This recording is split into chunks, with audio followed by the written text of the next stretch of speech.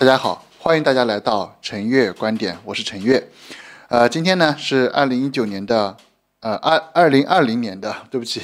二月十五号啊。呃，今天是星期六啊，正好呢，今天利用呃这个周末的时光呢，来和大家分析啊，或者是分享一个最新的消息。呃，这则消息呢，就是呃中国啊这个外长王毅和梵蒂冈的外长呢，在这个欧洲呢呃首次会面。嗯，这个消息的特别之处呢，它有几个观察的面向。第一个观察，第一个观察的面向呢是，呃，大家都知道，梵蒂冈呢，它是一个宗教国家，它的国土面积很小，但是呢，它因为是呃宗教的原因呢，它在全世界的这个影响力呢还是蛮大的啊。那基本上，呃，是目前梵蒂冈是呃台湾，也就是他们自己的这个呃这个呃呃。中华民国啊，那么他们自己呢，现在呢叫中华民国台湾啊，所以说按照这个呃中华民国的宪法呢，是呃包括大陆在内的这个领土呢都属于中华民国的啊，所以说一中各表之前就有这么个含义，九二共识。但是现在呢，呃台湾呢就名称呢从蔡英文八一七啊八百一十七万选票，那二零二零年呢再次连任之后，他就呃台湾从这个蔡英文到。呃，部会啊，他们这个甚至媒体的用词呢，都叫做中华民国台湾。呃，目前呢，这个梵蒂冈啊，这个国家呢是呃台湾或者是中华民国呢，在欧洲的唯一一个啊有邦交的国家啊，或者是建交的国家。那这一次呢，正好在啊德国的慕尼黑召开的一年一度的这个慕尼黑安全会议啊，那这个会议呢，全世界的这个重量级人物呢都会出席。那在二零二零年的二月十四日，就是昨天呢，呃，中国的国务委员兼外交部长王毅在慕尼黑呢应约会见了梵蒂冈的外长拉加格尔啊。那这个观察的面向非常值得观察的核心要点在于，呃，一直从大概好几年前就开始传出来说，啊，这个呃梵蒂冈可能会和中华人民共和国进行建交啊，和台湾呢进行断交。也就是和中华民国进行断交，那不知道呃这个事情呢呃在什么时候会发生？但是根据啊很多人的判断呢，认为梵蒂冈和中国的呃建交呢几乎是一个板上钉钉的事情。那只是说有一些这个事务性的事务呢，呃事务性的这个呃磋商呢还在进行啊进行啊，那就看选择一个比较合适的时间点。那关键就是中国和梵蒂冈呢双方之间的这个关键的争议呢就在于。关于这个主教的任命上面，那在两千一一十八年的时候，就二零一八年的时候呢，那中国和梵蒂冈双方签署了一个叫做呃关于主教任命的临时协议啊。那这个协议呢是非常的重要，有利于促成这个天主教徒和中国人民的呃福祉，惠及世界和平，这是他们这个共同的宣称。那事实上就是在于呃，比如在中国大陆的这个。呃，教徒他的这个呃，他的这个相当于主教的任命啊，到底是由呃中国的这个宗教主管部门来任命，还是由呃中国的教徒他们怎么样产生，或者是由这个呃这个梵蒂冈的这个教廷来进行认定？那关于这个方面的争议呢，双方啊。进行了旷日持久的谈判，那最终呢，在二零一八年形成了这样一个协议，就是关于主教任命的临时协议。呃，我记得当时在二零一八年这个协议落地的时候呢，就很多人就猜测了，就是教廷啊和这个中国之间呢，就是。呃，梵蒂冈和中国之间的这个，呃，相当于已经扫清了障碍啊，那就随时可以建交了。那我们也不清楚具体的细节，就是呃，为什么呢？到目前还没有呃建交。那这一次的这个乌中国的外长王毅和呃梵蒂冈的外长的会晤呢，是双方的外长在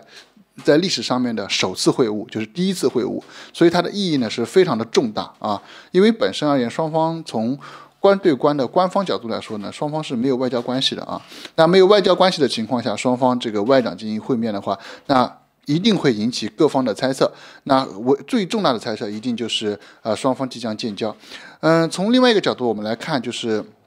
呃蔡英文这个八百一十万票当选之后呢，很多人猜测在蔡英文在第一任任内呢，呃包括在蔡英文选举出。选举的时候呢，就是二零二零年大选的时候呢，呃，他一直操弄的议题呢，实际上是一个反中的议题议题啊，所谓的叫做他们所职位的叫做抗中保台。那正好呢遇到了香港的反送中事件，呃，又加上呢这个中国国家主席啊领导人提出了这个一国两制的台湾方案，希望台湾的各个政党呢这个。呃，这个社会美社会人士呢，都能够提出对吧？建言献策嘛，或者是提出你的观点嘛，对吧？你觉得一国两制啊，现有的一国两制方案，你觉得哪有不妥的？那我们可以谈，对吧？那这个呢，被蔡英文在选举过程中呢，把它操作成了叫做这个呃九二共识就是一国两制，所以呢，把国民党的这个两岸论述呢打得呃满地找牙啊。那基本上呢，现在台湾的呃民意也能看得出来，这个八百一十七万票选择了蔡英文。那选择蔡英文之后呢，我们也看到这个，我们预计啊，很多人的预计呢，就是蔡英文当当选之后呢，他会采取一些呃，采取一些这个策略呢，去使两岸的这种紧张的关系呢，能够得到一定的落幕啊，或者是适当的缓和。但是非常令人遗憾的是呢，就是蔡英文当选之后，就是当选之后呢，呃，两岸不仅没有得到适当的缓和呢，他在接受这个呃外国媒体访问的时候呢，抛出了一个。呃，应该说向台独方向更迈向迈进一步的一个一个说辞，那就是呢，呃，台湾呢已经是一个独立的主权独立的国家，那它的名字呢叫中华民国台湾，那基本上呢就是拿中华民国借壳上市，就是把原来的中华民国派，把原来的台独派，那大家呢裹到一起来，那呃融融合在一起，那形成了一个叫做中华民国台湾的这么一个概念，那这个概念和这个说辞呢，在从台湾的宪政体制宪法角度来说的话呢，实际上是不合宪法的啊，但是。无论怎样，那他抛出了这个议题，那似乎呢一直在。啊，走两岸对抗的路子啊，一直在抱美国的大腿，也甚至呢，呃，现在让这个整个大陆的，不管从政府和大陆的这个网民啊，或者老百姓呢，能够感觉得出来，就是，嗯，好像台湾的民众本身对大陆的这种恨意和敌意呢，也日渐的日渐的加深，甚至是大陆的很多网民喊出了这个留岛不留人的这样一个口号啊，就是双方的这种剑拔弩张，从政治层面、政府层面呢，向民间下沉啊，这个是一个非常危险的信号。呃，很多人觉得这个大陆呢，好像。不是选举产生的国家领导人啊，当然这个可能是有很多的误解啊。比如说中国有人大制度，对吧？那他也是要通要通过投票投票，那他可能这个呃这个那个政治制度呢是不太一样，跟台湾的这种选举的或者是这个欧美的有些这个选举的这个选举制度本身不太一样。其实包括像德国、日本，那么和美国可能也不一样啊。美国选举人制度啊等等，那这个呢我们不深究。总之不管怎样，就是在大陆的这个民意，实际上这个。大陆的这个呃领导领导人啊或者领导者呢，他实际上也是非常重视大陆的民意的。如果大陆的民意在往上面呢，就是嗯和台湾的这种敌对日渐升高的时候呢，事实上的的确确会让两岸的这种和平的和平的曙光呢出现。呃，就是就是和平这一这一派呢，会变得越来越少，那可能会主张摩擦或者鹰派的人物呢，使得这个声音呢越来越大，那使得这个战争的风险，虽然我们认为战争的风战争的可能性仍然不高，但是至少它战争的风险，或者是滑向战争的这个现代战争也不一定是打仗，对吧？那可能经济上的不合作呀，那这个往来人员的减少呀，那甚至是一些这个相互在国际上面的一些角力啊，那其实这也是一种相互的一种消耗嘛，对吧？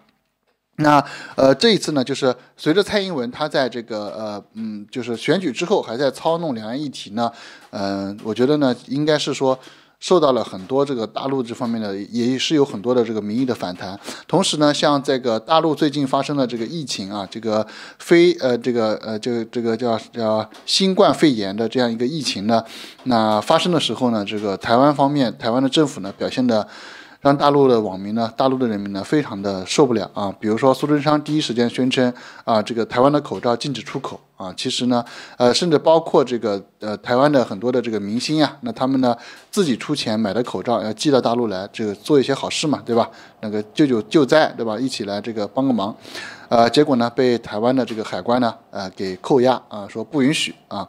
那另外来呢就是呃。驻这个滞留在武汉的这个台湾人呢，他们这个采用春节包机的形式，把把这个台湾人呢送到送回到台湾去，对吧？结果呢，被台湾岛内的媒体和民进党呢操弄成了这个，其中有这个飞机上面有一个是被后来到了台湾之后被确诊是感染了这个新冠肺炎，那他们呢就操弄成了是中国故意啊塞了这么一个呃生病的人在上面啊等等，反正就是呃两岸的互信呢完全都没有了啊。那我刚才描述了这么多呢，实际上在描述一个大的背景。那在这样一个大的背景之下，正好呢，这个王毅呢和呃和这个呃梵蒂冈的外长呢，在呃慕尼黑呃安全会议期间呢，进行了见面和会谈，并且提到了呃关于主教任命的临时协议啊。呃，我觉得嗯，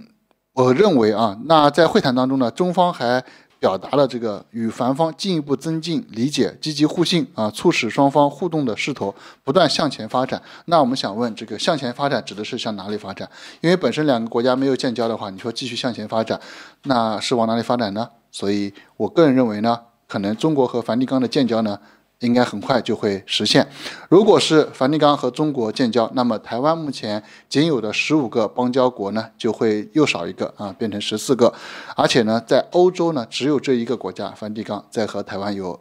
中华民国有邦交关系。那如果这个梵蒂冈和中国啊建交之后呢，那在欧洲呢，就是啊呃中华民国或者台湾呢就挂零了啊，就没有任何的一个邦交关系了。那就现在的呃两岸来说的话呢，就是呃其实从台湾的角度来看，大陆和台湾的就是挖邦交国了，他们认为是挖邦交国。其实事实上有很多，包括去年的。去年的这个，呃，在呃，就是澳大利亚旁边的南太的这些岛国，他们选择和中国大陆的这个建交呢。事实上，它不是说中国大陆给钱或者怎么把它挖过来，也一定程度上是因为，呃，最符合他们的利益啊，最符合他们的利益。那比如说，现在中国的国际影响力越来越大，你其实换成任何人的话，他都会要重新去考虑和权衡自己国家的利益啊。那在国际之间呢，呃，利益是永恒的主主旨啊，没有说。啊，其他的呢都往后站，所以说，呃，国际关系其实就是一个掂掂量和平衡利益的一个关系啊。